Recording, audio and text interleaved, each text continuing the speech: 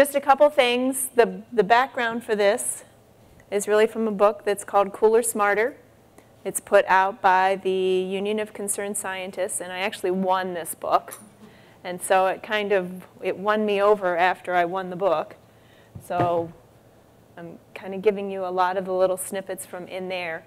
One of the things to know about this is that I am framing this without any political or theological or any kind of aspects with regards to global warming and climate change. This is simply ideas for things that we can do to reduce our impact as it applies to um, carbon emissions. Uh, let's see what we got here. This works. Okay, basic agenda. I'm an engineer from General Motors, so got to have an agenda. Um, just kind of keep things on track here. We're going to have a little bit of trivia time to get things started. Going to do a little bit of CO2 facts.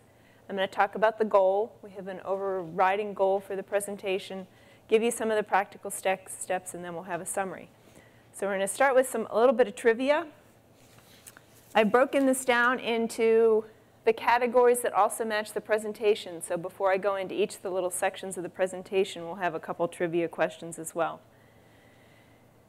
Can you name as many as possible, there's five of them, how many of the five naturally occurring greenhouse gases can you name? Methane? CO2. CO2? CO. CO? Well, maybe not really that CO, but another version. Let's see here, what else can you come up with? Ozone? That's O3, right? nitrous oxide, and the fifth one is water vapor.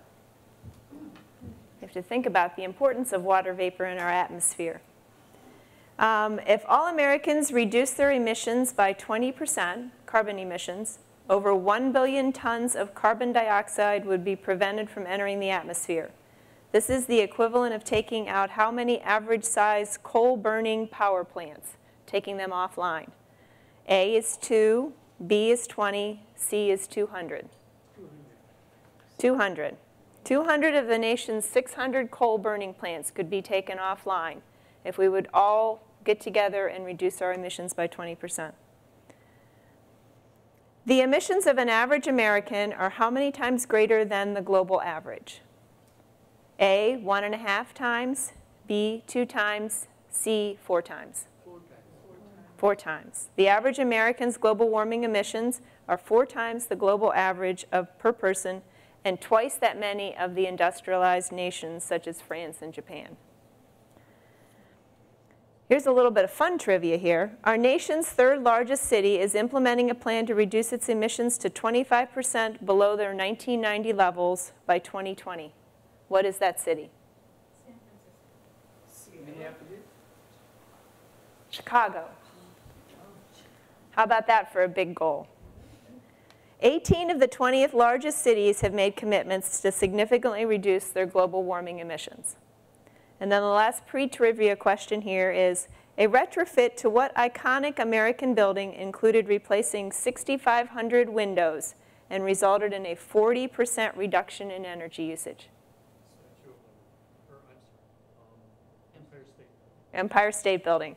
The retrofits made to the building saved $4.4 million and avoid 105,000 tons of carbon dioxide emissions a year.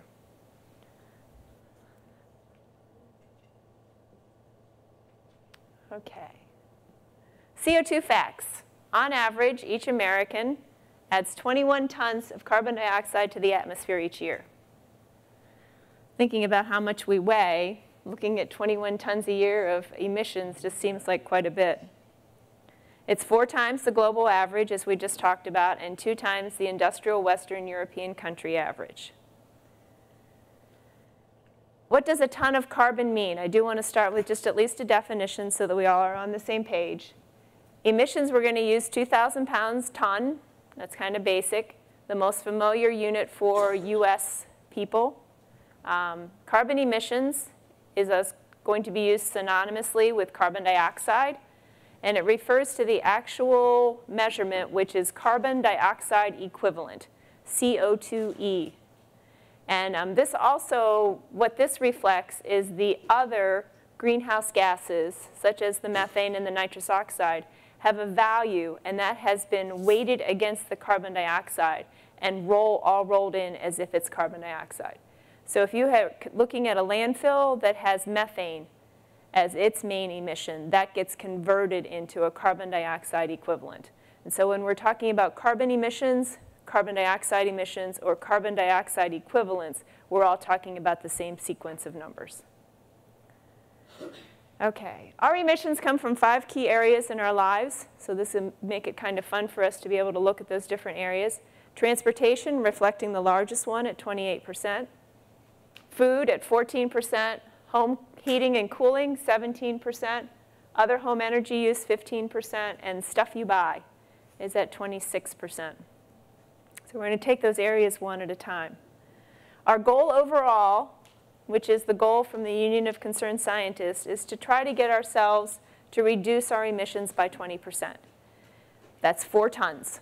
So if we can pull four tons off of what our average spending of our average emissions is, then if all Americans could do that, we would reduce the total by 1 billion tons a year, 200 coal plants, or 50% of the coal-generated emissions.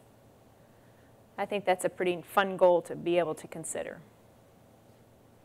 So the first steps in doing this is to determine your baseline. If you really don't know what you're putting out, it's very hard to think about how you'd be able to reduce that.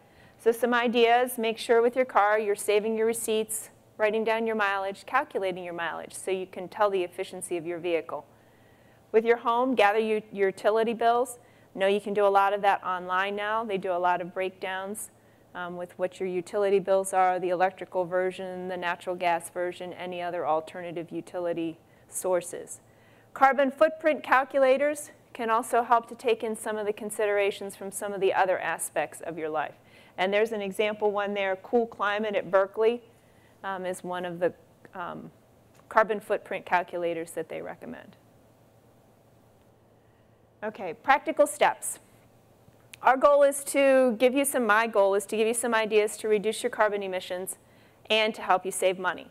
Um, I think this is very important. I know as an engineer, I work for General Motors, we don't do anything without making sure that money's part of the process.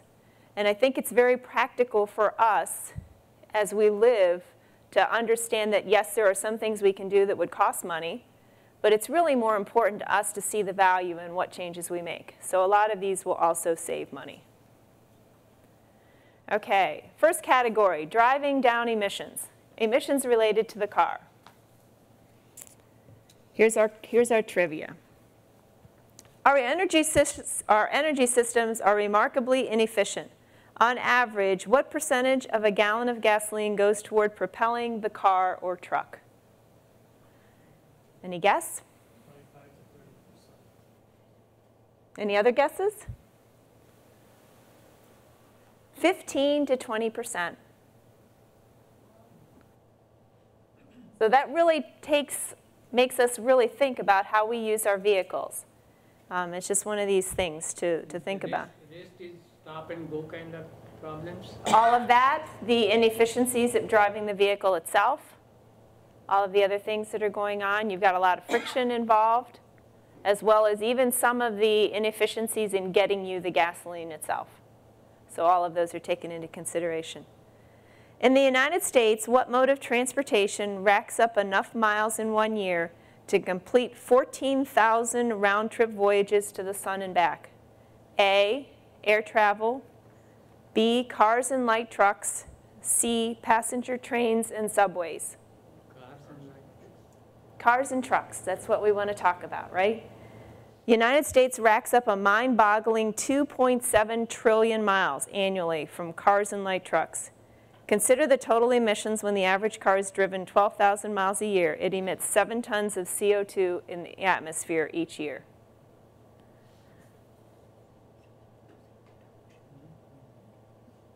So this is our perspective here. 12,000 miles, 20 miles per gallon, 7 tons of CO2. That's three and a half times the weight of the car itself. So that car is producing more emissions by weight than it weighs. Okay, the number one thing that you can do, this is kind of obvious, but this is the nature of the presentation. Some of these are very obvious. Some of them aren't so obvious. Some of them are easy. Some of them are not so easy. Switch to a car with better fuel economy. Upgrading from a 20 mile per gallon car to a 40 mile per gallon car can save you 2,400 gallons of gasoline over an eight-year lifespan for a car. At today's gas prices, that's a savings of more than $9,600. Okay, now here I have two advertisements for today. The first one is since I work at General Motors, over at the General Motors plant on Lexington Avenue, there's about a thousand of us. We each have been given the opportunity to, to give one employee discount to a friend. So if you're looking at a car and you don't have a GM car or you have a non-GM car in your fleet and you'd like to look at a GM car, which would get better gas mileage, that would be my requirement, and you'd like a discount on it, let me know or hook up with one of those other thousand people that work there. That's good through the end of the month. Just Quick question, um, are the carbon emissions similar uh, between diesels and gasoline cars, or is there a difference? I didn't really look at the diesel. There is a discussion on diesel. Diesel, as you know, is becoming cleaner and cleaner and is actually a very respectable choice to make because of its mileage and, the, and its cleanliness. In Europe, they're used, uh, in Europe, they're used quite a bit, and they have considerably better gas mileage than um, US cars. Now, that may be because emission standards aren't the same, uh, but just curious how those compare and, and whether there was any advantage to one or the other. Okay. Do I need to repeat the, does the, the voice in my head, do I need to repeat the question? Or the comment? Okay. I just want to remind everybody that this is being recorded for TV, so um, if you could, when you ask a question, please make sure you have one of these microphones before you ask it, okay? Thanks. And I was supposed to repeat the question. He asked about diesel emissions in case you know, anybody needs to know what that question was about. Okay. Think before you drive.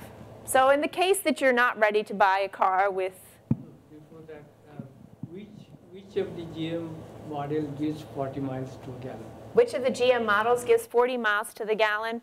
There is some of the Cruze levels. I mean, they're probably at the 38 range, the Cruze, um, the Eco Cruze.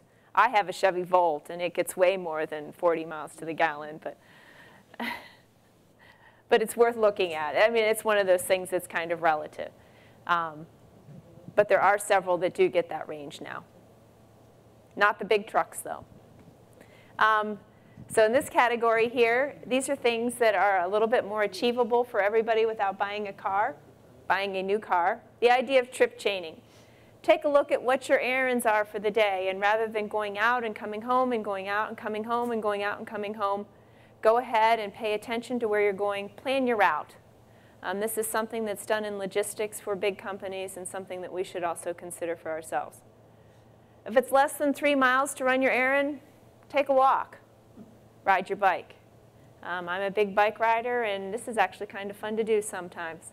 Just go ahead and put on a backpack or grab a bag and go and grab your groceries or whatever it is that you're doing. You can't do it for a lot of things, but when you have some of those local errands, um, make use of that. Share a car, share a ride. Um, it's kind of a little bit of an old-fashioned thing back when husband and wives both shared one car. But the efficiencies of doing that actually is fairly good if you can go ahead and make that work. Make sure that if you have somebody else going the same direction as you, think about sharing a ride with them. Um, the other option is to fill up with passengers. The idea of the carpool. And this kind of extrapolates, which this was an interesting one to, to show the diagram here, how that works because you're adding weight to the car by adding another passenger, which does make it less efficient. However, adding that weight is only about a 5% change in efficiency. So when you're doing that, what you're doing is you're taking something that would have been an entirely different vehicle and just reducing the efficiency of one car. And that's how it works for mass transit. So a bus, obviously, when you put all of those people on, you aren't increasing over and over again the amount of emissions, but you're actually just taking the one vehicle and making it slightly less, less efficient while removing all the other vehicles from the equation. So in this example, the car was the 229 um, units versus the 95 for a bus per person. So there is a definite impact to sharing a ride, filling up with passengers, or taking mass transit. Drive smarter. I think we talk, a lot of us know this, but we really don't pay attention to it. The importance of speeding up and slowing down gradually. Avoid jackrabbit starts, but the caveat to that is don't start too slowly. Um, I think on one of the other, I think I'll skip ahead and see if I can find it here. Or maybe I didn't put it in there. There is the discussion of, oh, actually, I lost the whole slide. I'm, now that I'm looking at my presentation here. Um, but I'll get to that one in a minute. I'll just do that one out loud. There is an efficiency that your car has, and if it's going too slow, it's not efficient. So you don't want to stay in that really low level for too long. You do want to get into that level efficiency. But you do want to not push step on the gas right away. So as you can see from the drawing, rapid acceleration uses more gasoline um, than the gradual acceleration. And the other one of this is the avoid hard braking. So the, in the, he told me, this, there it is. This is the line of the gradual stop, which just shows the energy efficiency of it as opposed to the peak here. This, this line here represents the miles per gallon used. So the higher this is, the more miles per gallon. So this gradual stop here definitely shows that it's using a lot less miles per gallon to do a gradual stop.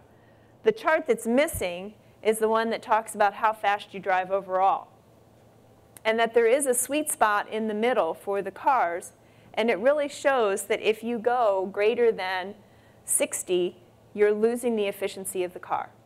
So it is the most efficient at the 50 to 55 miles per hour. Um, and any five miles, for every five miles you go over that, you do lose that efficiency. Drive down the emissions. So the idea is to tune it up, regular oil changes, air filters, all of those type of things that you need to do to maintain your car do improve its efficiency, do minimize the emissions from the vehicle. Make sure that you empty it out. For every 100 pounds of extra weight, the fuel economy decreases by 1 to 2%. Um, so don't carry around a lot of extra stuff. Now I know in the winter that's different. We're adding weight sometimes for a safety purpose. But in the summer, remember to take that weight out so that you can get that extra efficiency back. Check your tires regularly. This little plot here shows as the air pressure increases, the gas efficiency, that's this line, decreases.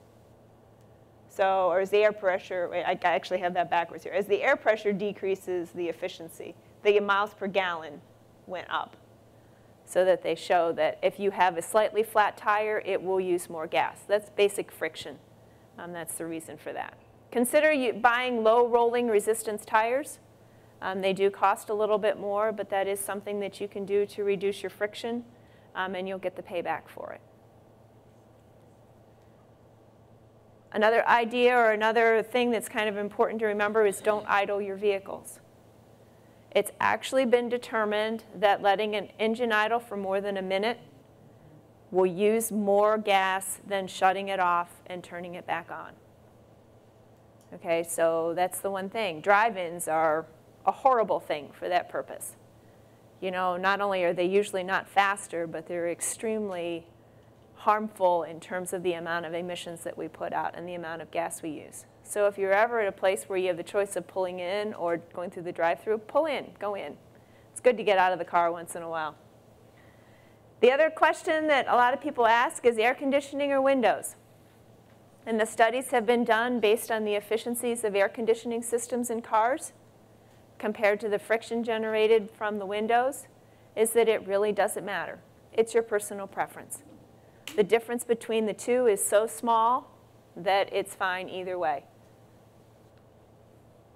Oh, can you the microphone? Say, I, I just recently put a, a sunroof in my vehicle, so can you comment on the drag on sunroofs?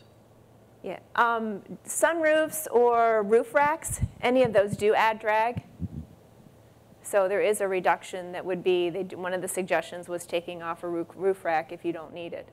But I always think something like that's for an enjoyment, you know, and the amount of time that you're going to use it, that you might as well go and enjoy it. Plus, you're probably changing some ventilation and doing it for some other reasons. Okay. Next category, holding the heat in the house.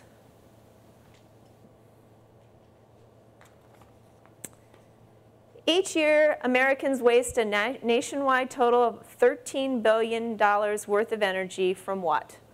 This is kind of easy since I'm in this category here. Home heating or cooling, idling cars or trucks, or vampire electronics. So we're going to guess it's home heating and cooling, right? Because that's what category I'm in. One quarter of CO2 emissions from heating and cooling escape residential buildings through holes and cracks. What energy saving device can you use to save 15% more on your home heating and cooling costs? Yes, a programmable thermostat. Very good. No longer just for photo albums, old furniture, and ghosts. If every American household added this product to their attic, the nation could save more than 1.8 billion in annual energy costs. Insulation. Insulation. Very, you guys are on top of this. So here's our thing. Annual U.S. household heating and cooling, 500 million tons of CO2, which equals emissions from 100 mid-sized coal fire plants. Regional heating bills are often two-thirds of the total energy costs. Um, and that's actually regional as in countries with, or as in states with cold winters. So that's very reflective of where we are. Okay, the number one thing we can do is make your house more tight. Um, air leaks account for 15 to 25% of the heat that our furnaces generate in the winter and that the homes, um, the homes gain in the summer. If you pay $1,100 a year to heat and cool your house, you might be wasting as much as $275 annually in leaks. Um, it's kind of a nice little graphic here, talks about where some of the holes are. Floors, walls, and ceilings represent 31%, ducts 15%, fireplace 14, plumbing holes 13, doors 11%, and windows 10%. And then there's the stuff coming out of the attic and electrical outlets. To help hold the heat in the house, here's the suggestions. Um, the first one is the one that I'm going to recommend that if everybody has, if they have not, is get a professional energy audit. Um, we sometimes are a little wary to do that. Um, but those people are trained in looking for areas that can improve your energy efficiency. In most cases, the energy audit is free. And because they want your business, they're going to come up with a very good list of valid concepts of things that you can do. Some of them easy, some of them that would make them some money. But none of them are you ever obligated to do, um, and they also are a wealth of information. But within that, when you get an energy audit, probably the first thing that they're going to come up with is finding locations for you to add caulking, sealing, and weather stripping. Close off some of those leaks. This is extremely inexpensive to do, and the value in terms of reducing your energy leaks is very impressive. Adding insulation for attics, piping, and ductwork is an also one that's usually has, has a very low payback. Chimney dampers, making sure that they're functional, making sure that they're closed when they're supposed to be closed. If every household added insulation to the attics, we'd save 1.8 billion in energy costs and prevent 12 million tons of CO2. The best investment, as the little trivia quiz, said, is the programmable thermostat. You can save 15% or more by adjusting your temperatures at night and when you're not there. Each degree down or up yields a savings, a 1% savings over a seven to eight hour period. So if you're gone for seven to eight hours and you move that thermostat up and down at the end of the month, you should have that percentage of savings that you could see on your bill. And just to make sure everybody knows, this was the part that I actually, as I was reading the book, I knew that the winter one, 68 degrees baseline, drop it down to 60 for sleeping and when, when you're not home. That one was kind of easy for me to understand. That would be approximately a 15% reduction. So I could cope with that one. But the summer one surprised me. The summer baseline is 78 degrees with 82 for sleeping and 85 when at work. So they're saying go ahead and make it warm. Um, we found that 78 was a little too warm this summer. But instead of doing the 74, which we would have, we were able to get to 76 and feel very comfortable with that. Um, and we were able to go ahead and let it go up when we were not there during the day. However, we discovered we like to be a little cooler at night than they thought we needed to be. So, but don't beat yourself up, you know, when you do that. I definitely still saved some energy over what I'd done in previous summers. So I now know that I had a positive impact even though I didn't reach what the, the real goal is. Heat only what you use. Shut off rooms that you're not using and make use of space heaters or window air conditioners if you do want to heat those spaces at just a little bit of the time. Discussion here on fireplaces. They okay to use? They not okay to use. So many of us have fireplaces and we like to use them. Um, the general belief is that a wood burning, wood burning by itself produces a higher CO2 emissions, but it's typically offset by source sustainability. Um, as long as you're not stripping a forest, you know, it's readily available and it's wood that's kind of at our availability. However, the traditional fireplace loses way more heat than it creates. Not only does it take the heat that it's generating with the wood, but it sucks out most of the heat that you put into the house from other sources. So if you would like to use your fireplace, it's very important to get a wood stove or gas stove insert, or at least get some tempered glass doors on the fireplace. Um, kind of a little sad to know that that idea isn't quite as efficient as we'd like it to be. Ideas, upgrades, windows. Single pane to double pane or triple pane glass with insulated frames have five to 10 year paybacks. I think that's good to know. They are an investment, but they do have a valid payback. Air conditioners, new models are 50% more efficient than models from as few as five years ago. So really pay attention to what your air conditioner says. Um, the Energy Guide will give you some guidance on that. Um, one of the other suggestions, though, is to go ahead and not use the air conditioner as much and go with ceiling fans or house exhaust fans to go ahead and move the air around without using the air conditioner. Other upgrades for heat, they went ahead and included the water heater in this category. It's responsible for 15% of the energy use and emissions within your house. The new ones are obviously more efficient than the old ones. Um, ideas are to consider the tankless option or the on-demand models if you need some hot water and you don't feel that you're getting it. Add insulation to older systems. That includes the piping as it goes up. Get some insulation to protect it so it's not actually losing the heat from the heater itself. Um, and maintain it at an ideal temperature of 120 degrees. You can add a setback thermostat to your water heater, so if you're working during the day. Oops.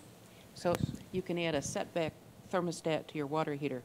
So if you're working, you can turn it off during the day and then turn it on like an hour before you get home. That's a and- very good And idea. cut that cost. See, extra tips. I like this. Okay, furnace or boiler. Replace it if it's more than 20 years old. If it has a continuous burning pilot instead of electronic ignition, or if it just isn't right. So if you have a furnace that isn't keeping you warm when you want to be warm, it's probably time to look at what's wrong with it. Um, there's a number here, the AFUE, Annual Fuel Utilization Efficiency, um, which will give you some guidance on picking a furnace. So if you go from a 65% AFUE to a 90%, you'll generate savings of $27 per $100 of your fuel bill. So that's something to really look at. Okay, home energy use. Just a couple questions here.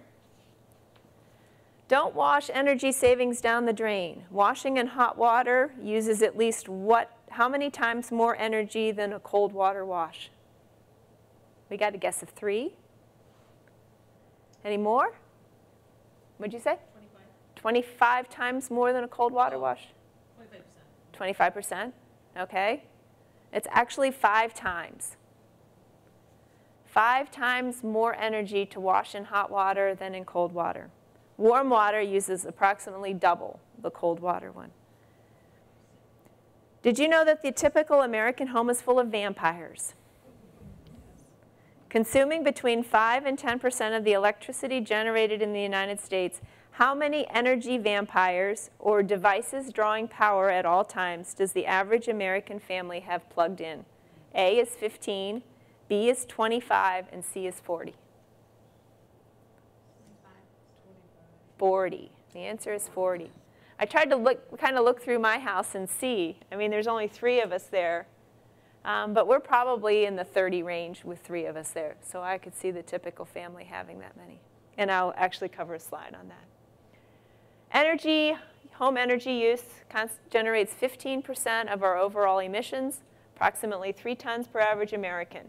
Individual appliance energy efficiency is improving, but we're typically actually unaware of what we're spending or how much we're using. Knowledge is power. So one of the basic things I wanted to do was talk about sippers versus gulpers, because that's how a lot of times we pay attention to things. Um, and that's the, that's the use of the word wattage. So if you have something like a hair dryer, we like our hair to get dry fast. That's a 1,000 watt hair dryer would be a good hair dryer. Um, versus something, you know, we're used to a light bulb. We have 100 watt light bulbs. We have less than that. So that is how much it's drawing at an instantaneous level. So when you turn that hair dryer on, it's gulping. However, when you're doing, say, your cell phone charger, it's pulling at a very little amount. It's sipping. And we typically will let them sip all day long, and that's one of those things to be aware of. So the example to show that it is time dependent, um, a 1,000 watt hair dryer for one hour is, a, is equal to a 100 watt bulb for 10 hours. So they're both one kilowatt hour. And that's kind of what you, now you can tell what a kilowatt hour looks like. Not that you'd ever use your hair dryer for one hour, but let's say you drive your hair for 10, 15 minutes a day, you would use that quantity over the course of a week as opposed to the 10 hours of the light bulb. Okay, oops. A suggestion is to get an energy monitor. Um, this is a device that you can actually plug your utilities in or your appliances in so you can see how much they're using because that's one of the things that we don't use. They're fairly inexpensive from a local hardware store and often libraries, although I didn't check to see if ours has one, oftentimes libraries will actually have some that you can borrow. Maybe that's a suggestion we should give to ours if we don't have that. Check it out for a couple weeks source of, or one of the things that we do in our houses is we turn on light bulbs. Um, and hopefully we know that lighting is changing as we are right now. Lighting is the next highest use of electricity over the heating and cooling that we talked about and represents 10 to 15% of the total. Incandescent bulbs are out. Not only are they being phased out, but they're extremely energy inefficient. Um, and so it's just important to understand that 95% of the output from an incandescent bulb goes to heat instead of light, which is the source of their inefficiency. So the government is in the process of phasing them out. They're getting more and more difficult to purchase. So what's in? So in are compact fluorescents. They use up to 75% electricity. And LEDs which use even less electricity per lumen of light and are more and are also mercury free. And this is my second advertisement for the day. If you have not yet experimented with LED light bulbs, um, I'm part of the Penfield High School robotics team, and one of our fundraisers is to sell a 60 watt LED light bulb that looks like a regular light bulb. So if you're interested in doing that, we sell them for the same price as Home Depot, except that the profit goes to the team and not to Home Depot or a store like that. So that's my, I'm done with advertisements. Okay, other things that we can do. I thought this was an interesting graph here. It shows where some of the um, largest energy use per year goes. Um, spas, pools, obviously, are down there as using a lot of energy. But the refrigerator is typically the thing that everybody has um, that uses the most energy in your house. Okay, once again, new ones are more efficient than old ones. So if you're ready for an upgrade, um, it's probably one of those things to go ahead and look at. Um, it can save, it can have a payback in as little as three years to go from an older refrigerator to a newer one. Um, this is my favorite quote of the presentation here. If it's avocado, it's not green. Actually, our first house had avocado everything in it, so just remember if it's one of those old-fashioned colors, it's probably not an energy-efficient refrigerator. New standards were implemented in 2003, which dramatically improved the efficiency of refrigerators. So actually, if you have a refrigerator that's purchased before 2003, its energy efficiency is much lower than the current ones. When you are buying a new refrigerator, make sure that you don't buy more capacity than you need. Um, that's one of those things that we seem to have a tendency to do is let's get the biggest as opposed to let's getting what we need. Fun features, use more energy. That's that ice maker. That's that little water thing in the front, the light that glows so that you can see the refrigerator in the night as you're walking by it. All of those things do use more energy. Um, and watch for rebates. If you are in the, in the shopping for a refrigerator, go ahead and make sure that you look for those opportunities. Other tips as far as your refrigerator goes, um, if you do have that old beer fridge that's down in the basement, go ahead and make sure that if you don't need to use it all year long, save it for those occasions when you need to, When you need to throw that extra turkey in it or that extra couple cases of beer because you're having a summer party. Uh, that's the time to turn it on. Turn it off the rest of the time.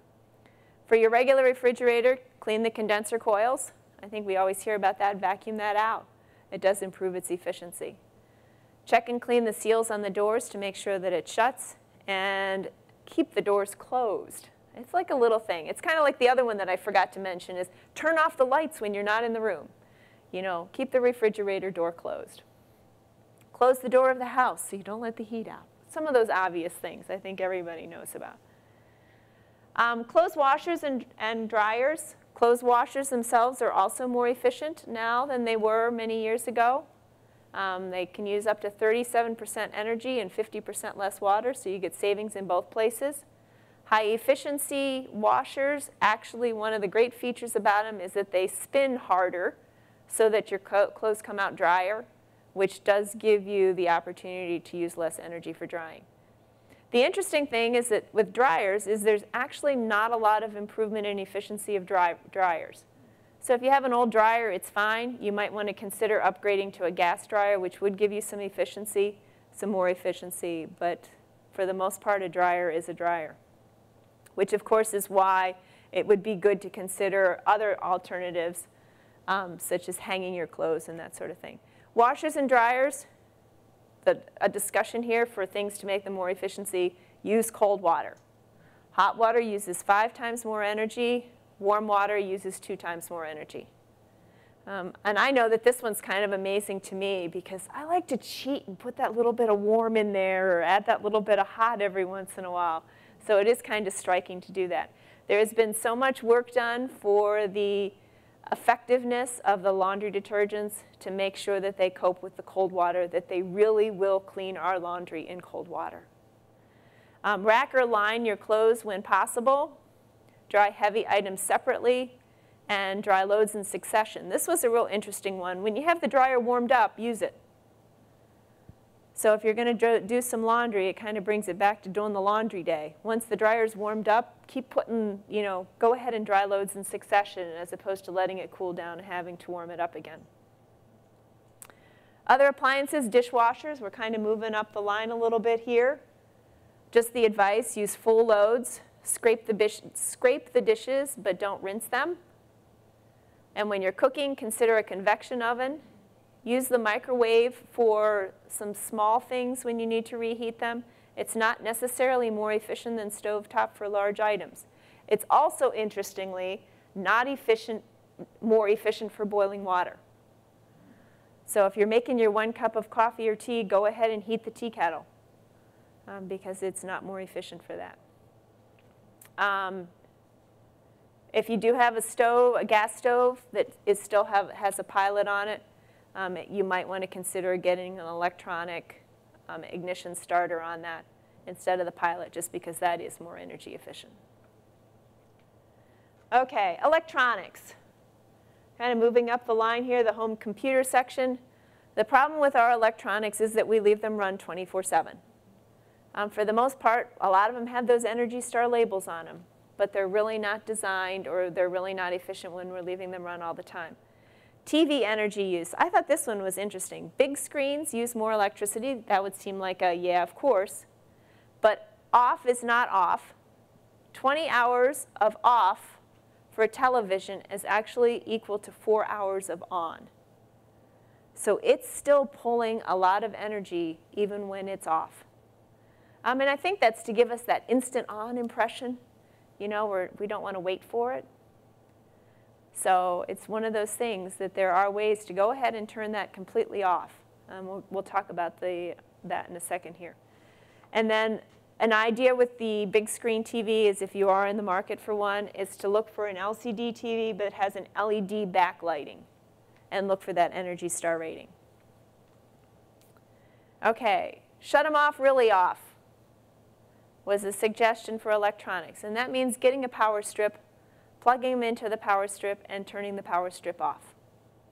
So when you go to bed at night, actually flipping that switch, or when you're not using those devices, do that. Now, of course, that means it so that your little clock on the TV won't necessarily work, you know, and that sort of thing. And, but there are also power strips which are very uniquely designed so that they'll have an on section and an off section so that the things that you legitimately want to turn off completely can be turned off. But the things that you want to leave on, say you are trying to record a show at 2 a.m., that you can leave those sections on. So there are those type of power cords that do power strips that allow you to do that. And then the other thing is to go ahead and make sure that you've taken advantage of the sleep mode adjustments on your computers. If you do want to leave it on, um, turn off the screensavers. Screensavers actually use almost as much energy as running the screen itself. So while they're saving the screen in the sense that they aren't letting you freeze an image on the screen, they are not improving the energy efficiency of your computer if you're leaving a screensaver on. So go ahead and put it in sleep mode or actually power saver mode is another choice that's sometimes used. Okay, here's the vampires. Um, you recognize them because the little red light's on. You know, you'll see that. And I know that when you do, you plug your phone charger in, you know, that it stays on even when you've unplugged the phone. So, and that's just a little one. But 40% of American homes draw 500 watts or more at night. So that's the equivalent of leaving eight incandescent bulbs on all night long. So that's something really for us to think about. Um, one example was a laser printer, and I have one of these, and it's on right now. It's a horrible thing to think about. $100 a year for me to not turn that thing off at night or when I'm not using it. So I can tell you when I'm done this, this is going to be one of the changes that we'll be making is figure out how to get that one on a power strip so that one could get turned off. The comparison is a phone charger, if you leave it on all the time, will cost, 25, will cost you 25 cents a year. So when we're talking about sweating the big stuff, do we actually care that the phone charger is plugged in? When I'm leaving the laser printer on? The answer is no. So we do have to do some of that idea of pick your battles. So some of these other things, because I think this is probably a little too hard for you to see, um, looking at it, the big one is the setup box, digital cable with DVR is the large bar, about two down from the, or three down, three up from the bottom. The game console on ready mode is the very bottom line. Desktop computer is the second one down from the top, and a laptop computer is the third one down. CRT display is the other larger bar. So you can see there's some various things. They are all drawing some energy, though, at night or when you're not using them. Okay. Just, um, one of the things, Grab, grab the mic. Thank you, Tony. one of the things I've done with my washer and dryer, I've, I've actually, on the washing machine, put a little cup hook next to where it's plugged in, and when I'm done using it, I unplug it and just sort of hang it like that. Obviously, with the dryer, it's a lot more difficult. You have to move the dryer because it's that bigger plug, but I unplug my washing machine. I hadn't really thought about those because I have such an old-fashioned washing machine.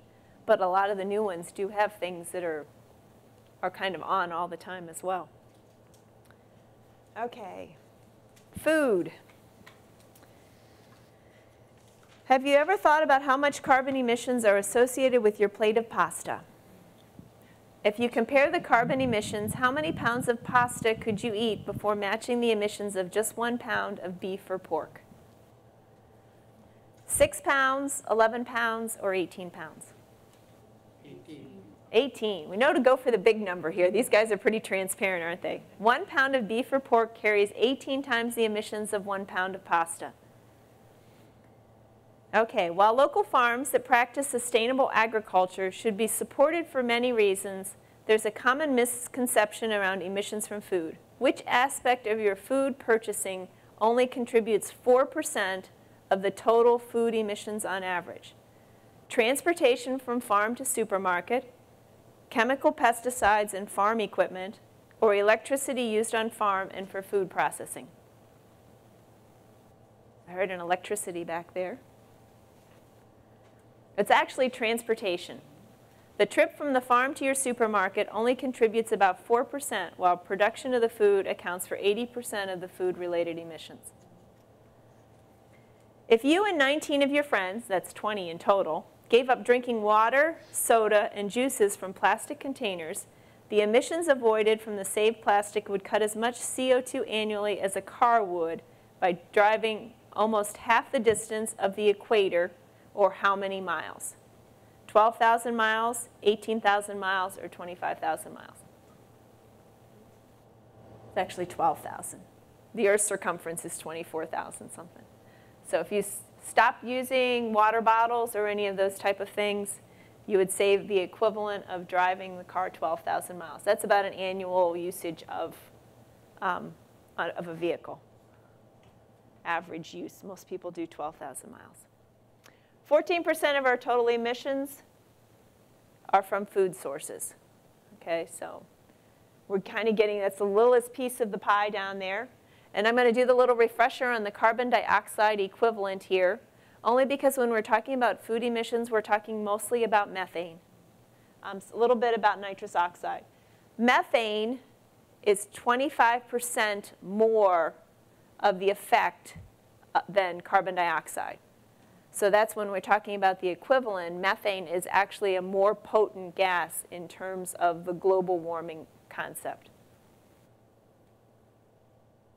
Okay, eat a low carbon diet. This discussion part on figuring out the best way to plan your diet is a little bit complicated because of the various paths that food takes to get from being grown or raised into our table. Um, considerations are farm equipment fuel use, transportation fuel use, fuels used to produce fertilizers, pesticides, fuels used in food processing. There's a lot of sources of electricity and fuels that are used to get the food from where it starts to us. Um, so that does make it a little bit complicated. Um, but when they're going through and looking, and actually I'm going to go back to this one. This is a chart that just does show the global warming emissions by food type. Um, and you can see this first one here is the beef and pork. This is butter, chicken, fish, rice, fruit, vegetables, eggs, beans, dried beans, milk, sugar, bread, pasta, and flour. It's kind of a little scope there. So the two recommendations that are made, or food changes that we can make, one is bite the beef, eliminate some of the beef from our diets. By any measure, the production of meat, pork is included in that, especially beef, causes more emissions than almost any other food type. Okay, it's resource intensive, um, just because one of the examples is that um, the amount of grains that a cow needs to eat as opposed to us eating those grains is one of the things. It needs about eight pounds of grains for every pound of beef that gets used. So it's very resource intensive. Another example, though, was cheese. Um, the idea that 10 pounds of milk goes into one pound of cheese. So that also makes it a little bit interesting in terms of its resources that are used. So the suggestion is to eat less meat. The current average is 2.7, I'm sorry, 270 pounds a year of meat, which is four times the global average. We eat a lot of meat in America. Um, And if we were to go ahead and reduce that by 50%, uh, first thing that it would do is it give us a little bit more of a balanced diet. It would meet us a little bit closer to the recommendation that's currently out with the government's MyPlate drawing. Um, the second thing is that it would result in emission reduction of two tons, which is half a year of drawing, driving. So if all of us cut out about half of our meat consumption. consumption. Uh, so one of the suggestions, it's kind of hard if you are a meat eater um, to really think about doing that, but they gave a suggestion of picking one day a week, such as a meatless Monday or something like that. I actually have it fairly easy at our house because I have a daughter who's a vegetarian. And so in the course of her being a vegetarian, we as a household have actually learned to eat a lot less meat. You know, and when you kind of don't prepare it all the time, it just kind of makes sense not to have it there. Um, if you are going to eat beef, it is kind of, you do have an option here is to get some better beef. Grass-fed beef, if it's raised on properly managed pastures, can actually sequester amounts, significant amounts of carbon so will actually provide a benefit. Um, and if they're end products of the, of the process, the biogas that can be used to generate some electricity. So there are some respectable ways to raise beef and the products from that. And so that is something to look at and to encourage. Other things that we need to do in terms of our food is to minimize food packaging and processing. Um, really looked for unwrapped items, really encourage that in our grocery stores. Um, we pretty much have to remember in grocery stores that we are the consumers, we are the customers. And if we make recommendations to grocery stores that they will listen to us. So it would be to pick things that are, are wrapped. Um, kind of look for things that are wrapped for a reason, but if they aren't wrapped for any good value, ask them not to wrap them. Buy bigger unless you can't use it all. It is important not to waste the food, and I'll talk about that in a minute too. But the idea of single serving packages versus multiple serving packages, um, it is more efficient and more effective to get the larger sizes. Go ahead and use single servings as needed, um, but not as a practice. And this is one of these things too, is, is we do have choices here and, and there's things that you don't go, go, don't sweat that as well. So, you know, if you're going camping and it'd be a lot easier to have some single serving things, go ahead and make that decision. If you're packing your kids' lunch and it's a lot easier to throw something in that's prepackaged, go ahead and do that. But if you can get a reusable container and package it yourself, you will save money and you will make an impact in the, in the um, carbon emissions. And as always, select less processed foods. Um, everything, it seems like, is available to us today in a processed form but it is possible to go ahead and pick things that are less processed, and they are healthier for us in the long run. Reduce food waste. This was kind of phenomenal to me. 25% of the food processed is wasted, and 60% of that is wasted by the consumer. So we waste a lot of food. We throw a lot of food away. We choose not to eat a lot of food that's been served to us. Um, we do a lot of things to do that. $165 billion worth of food waste enters the landfill each year. I mean, that's a lot of things. And there's a lot of people that are hungry. You know, so it's kind of one of those things that sets you back a little bit. What about restaurants? That includes our choices of what we choose. The 60% is what we don't eat at a restaurant. So say you go and get portions. Sometimes if it is uh, not used, they don't use it next day. They it They literally have, goes. they, right. So, So- so things at a restaurant, but there are waste, the 25% reflects restaurant waste at all. But of that 25% that's wasted, we personally waste 60% of it. So their waste is less than ours. So they might waste 20% you know, as opposed to our 60%. There's, there's waste along the, all along the line, but a restaurant, we waste more than they waste. The amount of food that we leave on our plates or don't take home in a doggy bag, you know, that sort of thing is waste, way, wasteful. Um, things to do, track your food use. You know, make sure that you're not buying something that nobody eats in your household. you know, kind of look at it and say, you know, what are we doing this for? Um, make creative use of leftovers. And then remember to share the bounty. Um, look for food recovery programs. If you raise stuff in your garden and you have too much, you know, don't let it go to waste. Find a neighbor, find a friend, you know, share the food. If it's a way for you to buy things in larger quantities and then be able to split it with somebody to make it more efficient, then go ahead and do that. There are a lot of food recovery programs going on. I know that we have Foodlink in town, um, which definitely has a lot of value to our area. And they do get supplied food from a large number of restaurants and grocery stores um, that is used to feed other people. In terms of food waste, the most efficient thing we can do with the non-meat waste is to compost. Uh, for every ton of food that's composted, it saves close to a ton of CO2 emissions. So it is kind of a one-for-one ratio there. Applying compost to the soil also results in a net storage of carbon. So it does add a benefit on top of it to go ahead and compost. Composting is fairly easy. So if that's something that you haven't had an opportunity to try, I mean, I, I recommend that as well. Couple topics that everybody likes to be able to talk about. One of them is organic food. Um, in terms of carbon emissions, the verdict is out on that. There is such a difference between the impact of using the less, less pesticides and fertilizers versus the output of food versus the amount of land that's needed and all of those type of things. So that from a carbon impact, it's pretty much a wash at this point in time. And then how about locally grown? I love locally grown. I love being able to promote that. But from a carbon emission perspective, because it's only a 4% impact in terms of transportation, um, there's not a real good driver for it from the carbon emission perspective. Okay, break the bottle habit.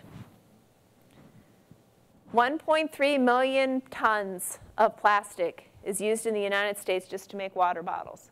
That's 50 million barrels of oil. 75% of those still end up in the landfill.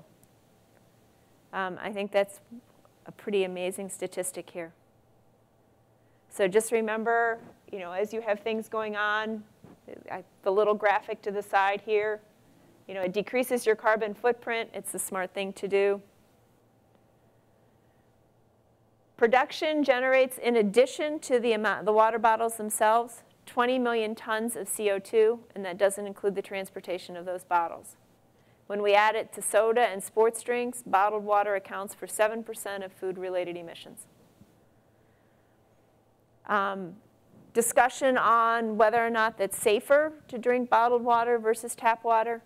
And in most cases, unless you're in a specific location with a specific environmental hazard, the answer is no, especially since the controls on the plastic of the bottle is not as tight as the controls of the tap water that's being that's in our systems.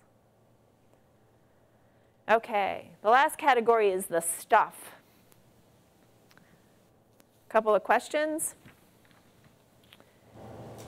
This corporation wants you to save money to live better, but maybe they should start saving energy to live better. One of the largest corporations in the world is also the largest consumer of electricity in the United States. What corporation is this? Did you say it? Walmart. Walmart. Although they recently pledged to make 22 million tons worth of reductions in their global warming emissions by 2015. That's the equivalent of taking 4 million cars off the road. The standard paperback book is responsible for 5.5 pounds of CO2 emissions in its manufacture and transportation to a bookstore.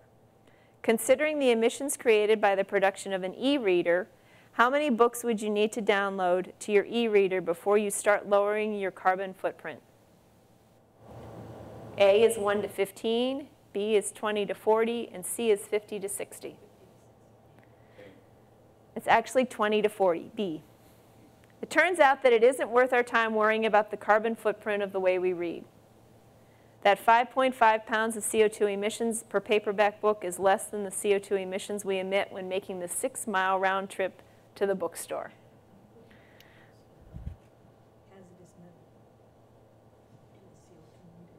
Yep. Okay, so this takes up the last quarter of our emissions is the stuff. Unfortunately, we can't have a lot of impact on some of the categories of the areas of stuff, products and services, um, such as medical, healthcare and medicine. Um, it's not one of those things that we look at when we pick a doctor is whether or not he's being energy efficient, when we look at the hospital. Um, fortunately, I think a lot of those places are starting to look at their impacts and emissions on their own, mostly because of the cost benefit. Um, however, we can still make a measurable reduction in tangible non-food that accounts for 10% or two tons of our annual average. Um, things like clothing and furniture and other things that we do get, do buy. So, first recommendation is buy less stuff. Borrow rather than buy. Go with durables rather than disposables. I mean, the idea of using a dish towel versus paper towels, I mean, can have a big impact on your family in terms of your emissions and uh, the other waste that you're getting rid of. Go for experiences instead of gadgets. Um, that's my family skiing. That's not my family. That's the representation of the skiing family there. Just pick things that will provide memories rather than buy the toys that will be used for a little bit and then tossed away. Reuse and repurpose as much as possible. Make smart choices. Select products that have higher resource or energy efficiency than the one you're replacing. So the example here is pick a rake instead of the leaf blower. That seems like heresy to me. I don't know, you know. Have to take away one of those toys. But in terms of making a difference with our carbon impact, it's better sometimes to go ahead and use our energy versus the electrical energy to do something else. Buy items that are well made and that have a long life. Select companies with a history of trying to reduce their environmental impacts and buy used and refurbished items. And then the reminder here, don't sweat the small, the small stuff, and that was the discussion of e-books versus real books. Read the way you want to because it's really not going to have a huge difference. Recycle. Recycling has a fairly substantial impact on the carbon emissions. First of all, it removes the need for virgin materials to be reused and the emissions generated from making or extracting them. It reduces the emissions from waste disposal at the other end. Um, and then the example here, aluminum has the best recyclability. Um, it's really fairly phenomenal how little additional energy is used to recycle aluminum as compared to actually producing new aluminum. More than 50%, this is a good statistic, more than 50% of cardboard and paper is recycled in the US. But the incentive needs to be now is that we need to make that decision to buy recycled paper products because the market is not there and they reach a wall where they can't accept any more recycled materials because they don't have a market for it.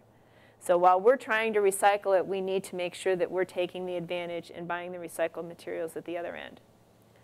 Water and sewage. First, when I, when I was looking at this, I thought this was kind of interesting. I hadn't really thought about the impact of getting our water and sewer lines and how that would have an impact on our carbon emissions, except that the electricity used to move the water represents greater than 2% of the household emissions. So it produces 8.2 tons, 8.2 pounds of CO2 per dollar of spent for water. So the goal would be to use less water it reduces our carbon impact, and it saves us money. Construction and remodeling. New home construction and remodeling accounts for 4.4% of the carbon emissions. Wood construction has a smaller impact than steel or concrete. So the concept here is to build no more house than you need. Design and invest in energy efficiency. A lot of times when we're working on building a new home, we're so concerned with the costs. And if we would go ahead and pay attention to making that smaller investment in some energy efficiency versus cutting that cost right, we would have the payback in the future. And seek out green techniques. And this is my final section of improvements that we can make, and that's in the yard and garden. So our yards are very carbon intrinsic activity. You know, we want them to be green and lush and spacious, and so there's the impact from pesticides and fertilizers. There's the impact from regular mowing. Once we've added those pesticides and fertilizers, um, then the grass grows and we have to cut it. Typically, we cut it with gasoline mowers. And then the other impact is that it becomes a monoculture, which is really what we want. We want that one grass in there. We don't want the other grasses. We don't want the flowers. We want that one space to have that little monoculture, which does affect the biodiversity of the rest of the area. So the goal is to have a low carbon lawn, seek out native plantings, native grasses, which don't need the pesticides and don't need the herbicides to grow. Get an electric or push mower to reduce the gasoline usage. Emphasize the composting. Go ahead and self-compost on the lawn or add the compost in to add the nutrients back. Encourage the biodiversity and to plant trees or shrubs which will actually sequester some of the carbon. The final point is to spread the word. This is the, the goal, 20% reduction by all Americans would pull out 1 billion tons, would reduce the need for 200 coal plants, or 50% of the coal-generated emissions. And I found this real neat graphic here that talks about some of the statistics that we have. Um, when you cut your emissions by 20%, this is the one in the middle here, you would save more CO2 than turning off all the electricity for one year at your house. A programmable thermostat can result in $165 a year of savings on average. Trading in your SUV for a hybrid would save about as much CO2 as planting a football tree, football field with trees. If a family of four eats half as much meat, they avoid as, as much CO2 as not driving their car for six months. When 20 family, friends, or members cut their emissions by 20%, it's conserving 6,500 gallons of gas equivalent. If 20 friends stop drinking bottled water, we'd avoid as much CO2 as a car would riding halfway to the equator. If 20 friends purchased, reduce the amount of stuff they purchase by 20%, it's the same as two of them not driving for six months. If the residents of a small city reduce their emissions by 20%, that's like planting enough trees to cover Las Vegas. If each house in a small city traded incandescent bulbs for LED bulbs, they would be like turning off the electricity to 6,000 houses. If air leaks were caulked and sealed in every home in a small city, it has cut as much CO2 as conserving 1.6 million gallons of gas a year. When the small city of Boulder, Colorado established a program to leave cars home one day a week, it avoided as much CO2 annually than a car would emit driving to the moon and back. If everyone in the US reduces emissions by 20%, that's shutting down 200 mid-sized coal plants, one third of the emissions of the nation's total. And if everyone in the US improved their home's efficiency by 10%, it would cut as much CO2 as taking 25 million cars off the road. If all American households properly use programmable thermostats, we'd save more CO2 than the amount produced by the energy used in 4 million homes in the city of Los Angeles. So those are some amazing statistics, things that we can do by little changes that we can make. So I hope that in the course of the presentation you found at least 10 things that you can go and do or 10 changes that you can make. Thank you.